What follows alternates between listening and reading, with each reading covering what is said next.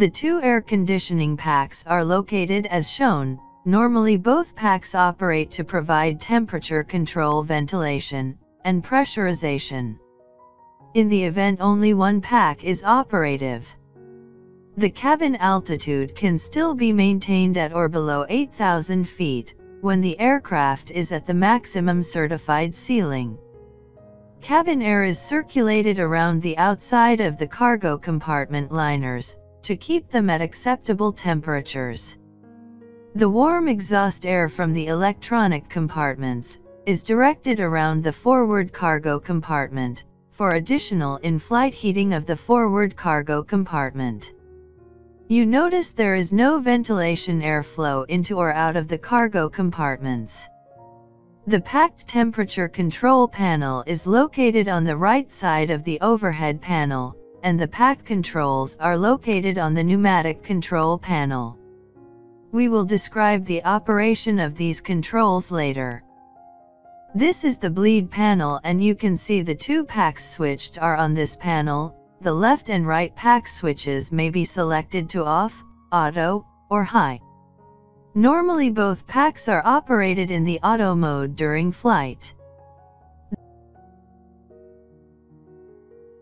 There are a two-position switches, and a three-position switches.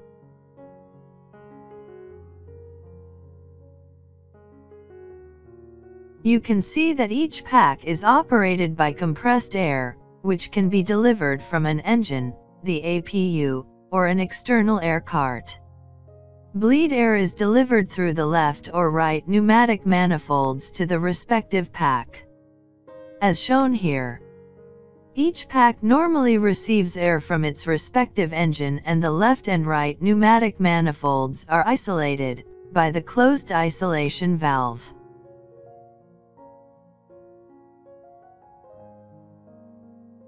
You can see that each pack is operated by compressed air which can be delivered from an engine the APU or an external air cart leaders delivered through the left or right pneumatic manifolds to the respective pack, as shown here. Each pack normally receives air from its respective engine and the left and right pneumatic manifolds are isolated by the closed isolation valve.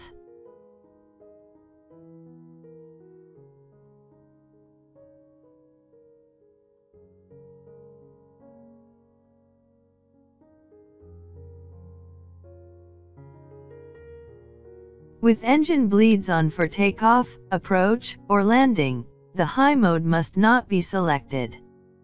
This is because single engine performance has not been calculated with an engine bleed supplying a pack in high.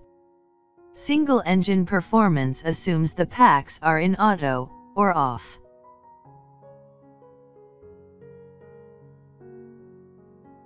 Here we show the APU supplying air to both packs, when the pneumatic isolation valve is open. Both packs may be supplied bleed air from the APU. The isolation valve may be selected to close, auto, or open.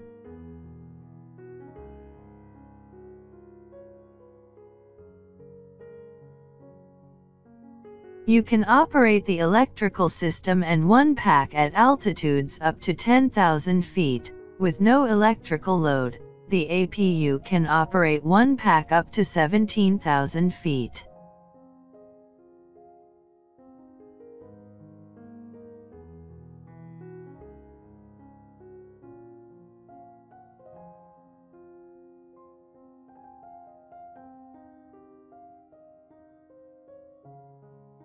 Both packs can receive bleed air from an external air cart, External pneumatic air enters the pneumatic manifold on the right side of the isolation valve, and therefore provides pneumatic air directly to the right side of the system.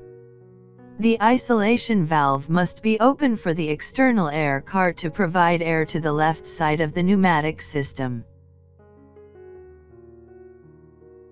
When parked low-pressure conditioned air can be provided at the gate, Conditioned air is delivered directly to the mix manifold which distributes it to the cabin and cockpit. The conditioned air is attached to the aircraft in the area shown above, The packs are normally not operated in this situation, and the air temperature is determined by the conditioned air source.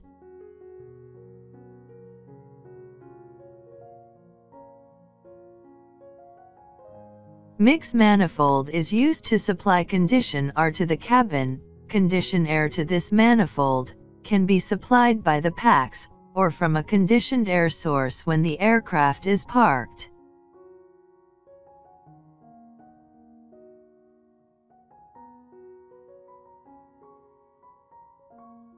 The left pack delivers conditioned air to the flight deck, excess air that is not provided to the cockpit, is provided to the mix manifold, and then to the cabin.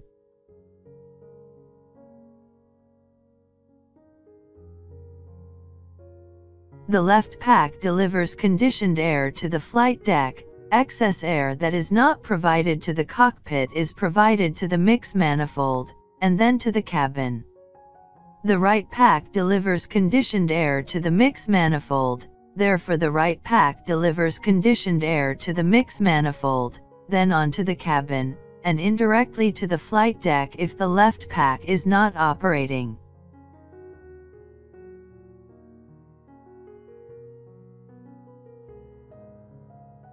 The 800 aircraft have two recirculation fans that are used to enhance airflow through the mix manifold, air from the forward cabin and from the electrical equipment bay is drawn through a shroud located over the forward cargo compartment, then flows through filters to the recirculation fans. The recirculation fans then supply the recirculated air to the mix manifold.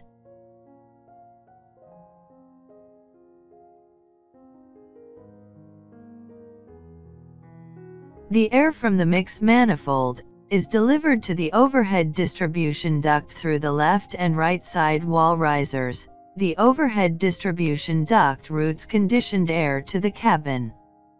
The duct extends from the forward to the aft end of the ceiling along the center line, and also supplies the side walls diffusers. A trim air is used to provide a specific temperature control for the cabin zones. The trim air system uses hot bleed air to warm specific zones. There is a trim air pressure regulator and shut-off valve that controls the operation of trim air. There are trim air modulating valves that modulate the warm air delivery to each zone.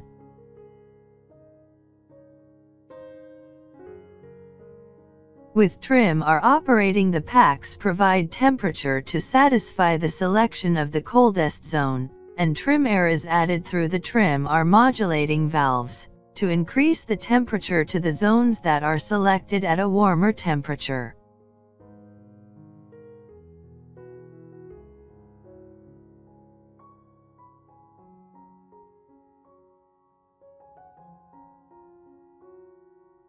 This picture shows the airflow to the cockpit. Conditioned is continuously delivered through diffusers under each pilot's seat. There is no shutoff for this airflow. Condition air is also delivered through overhead diffusers in the cockpit, located above and aft of the number 3 windows. These outlets can be opened and closed by the pilot.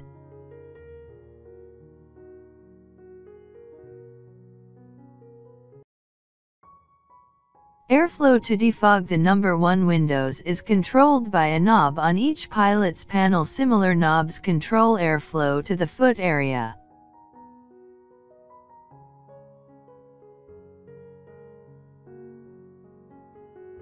Recall that the air flows around the cargo compartments, and not into or through the compartments, normally the cabin air exhaust through the main outflow valve.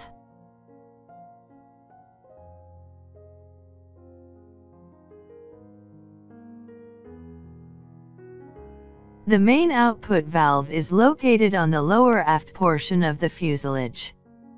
It is open on the ground. It controls the pressurization of the aircraft and modulates as necessary during flight.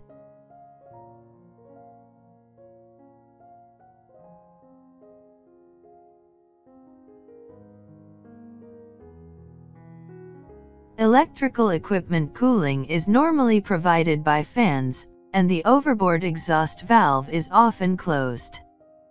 The overboard exhaust valve is installed on the lower side of the fuselage. It can open to provide an alternate means to ventilate the electrical equipment.